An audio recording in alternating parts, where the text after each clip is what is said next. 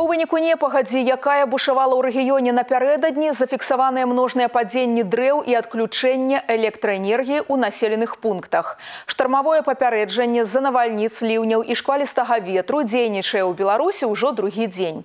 У нашым рэгіёне больш за ўсіх пацярпеў гомельскі раён. Увесь гэты дзень там працягваліся работы па аднаўленні падачы электраэнергіі і рамонце пашкоджаных ветрам пабудоў. Сарваныя дахі, абарваныя правады і паваленыя агароджы сустракаюцца па ўсёй тэрыторыі раёна, але больш за ўсё дасталося лясным насаджэнням. Знішчаны сотні дрэваў. Усяго за 20 хвілін ураган у гомельскім раёне ў прамым сэнсе наламаў дроў. З 18 да 19 гадзін 13 жніўня па тэрыторыі вобласці прайшоў навальнічны фронт з моцнымі дажджамі і парывамі ветру. У выніку абястошанымі аказаліся 39 населеных пунктаў гомельскага раёна, пераважна ў цярухскім, маркавіцкім і чарацянскім гражданскім сельсаветах. Ліквідаваць наступствы ўрагану пачалі неадкладна. прохладно.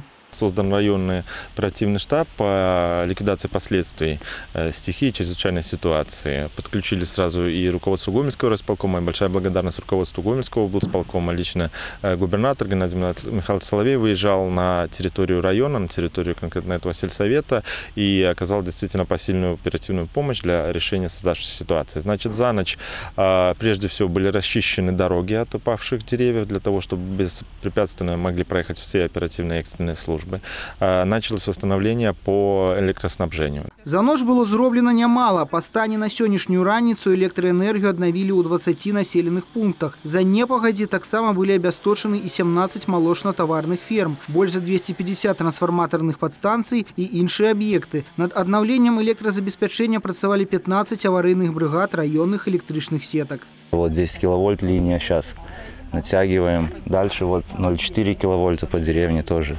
порваны провода, пообрывалы ветки деревьев, опять же. Большой объем работ потребуется не меньше суток. Ну, очень много, да, случилось за буквально 10 минут этого урагана, что тут прошел. Стараемся быстро все делать, чтобы люди как бы без света уже тоже все волнуются, переживают. Да и предприятия, где-то магазины, то все. Поэтому стараемся максимально быстро все делать. Аднак галоўнае, што пагрозы жыццю і здароўю людзей няма. Дарэчы, на працягу дня з жыхарамі найбольш пацярпелых населеных пунктаў сустракаліся прадстаўнікі мясцовай улады, каб высветліць праблемныя пытанні і арганізаваць дапамогу прыватным падворкам і тэрыторыям дзяржпрадпрыемстваў роўная ўвага. Сегодня со мной директор Центра социального обслуживания. У вас э, на территории Марковского сельсовета достаточно много одиноко проживающих людей ну, и инвалидов. Здесь почти все одинокие, одинокие престарелых. Сегодня уже соцработники сейчас выходят, э, обзвонят, кому какая необходимая помощь. Ну вы же понимаете, пожилые люди, не дай бог кому продукты, что-то не зря я с собой руководителя взял, сегодня же окажем помощь. Функционование молочно-товарных ферм, стяг родимый и Саўгазкамбінат СОШ забяспечваюць генераторы жыллёва-коммунальной господарки, районных электричных сеток и подразделений МНС. Были задействованы силы и средства органов и подразделений по чрезвычайным ситуациям, а также других структур. Всего было задействовано 8 автономных генераторов, которые обеспечивали бесперебойную подачу электроэнергии объектам хозяйствования.